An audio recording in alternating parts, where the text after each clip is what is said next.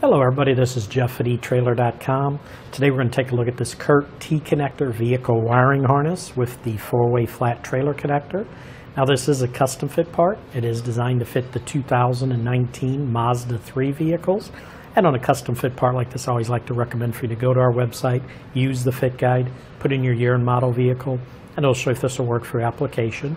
Now this harness will provide this four-way flat trailer connector at the back of your vehicle to power your trailer signal lights, and it is compatible with 5-pole, 6-pole, and 7-pole adapters that we do sell separately on our website. This will connect very quickly and easily.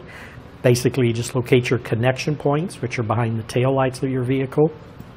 Plug in these T connectors, one on the driver's side, one on the passenger side. Ground your white wire, then run your black power wire to your vehicle's battery. Now it does include this black box here, which is your tail light converter. This is to ensure that your vehicle's wiring will match that of your trailer. It is a powered module. That's why it run, connects directly to your vehicle's battery, and they do that to avoid overloading your vehicle's electrical system. This converter is constructed using SMT technology, which is surface mount technology.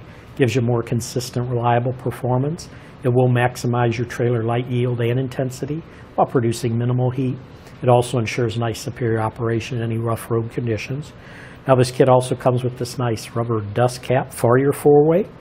And what's nice about that, you can just attach it to the four-way and you can leave it on there if you want. And then when you're not plugged into your trailer, just take your dust cap, put it over the terminals, and it'll protect them from any damage or from the elements. A few specs on this harness. The maximum amperage for the stop and turn light circuit is 5 amps per circuit. Tail lights is 7.5 amps per circuit. Does come with everything shown here on the table. Comes with a nice set of detailed instructions that will describe how everything installs and pictures of where they connect. But just briefly to go through the connections on these, what you'll do again is go to the rear of your vehicle, access behind the tail lights, and you'll probably want to start on the driver's side and take the wire that has the yellow and red in it, that's for the driver's side, unplug your harness, plug this T connector in line there, and then what you'll do is take the other T connector with the green wire, that's for your passenger side, run this length of wire over to the passenger side, plug this in behind the tail lights.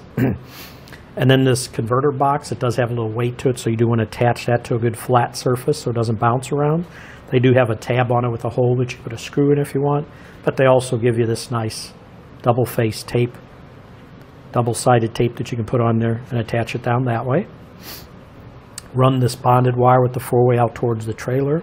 And then you'll have two remaining wires. The white wire you can see has an eyelet on it. That needs to connect to a good clean ground if there's one nearby. If not, they do include this grounding screw that you can make your own ground. And then the remaining wire is your power wire. This needs to run to the vehicle's battery in the front. They do give this length of wire and the connectors to do that.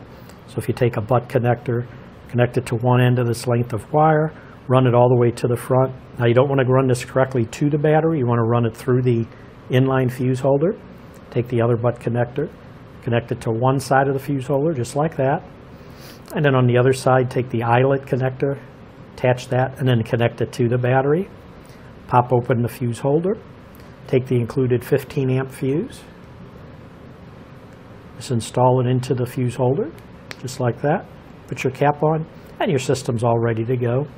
If you notice, they do include some extra cable ties that'll help keep up, take up any slack in any of the wiring. But that should do it for the review on this CURT T-connector vehicle wiring harness with the four-way flat trailer connector.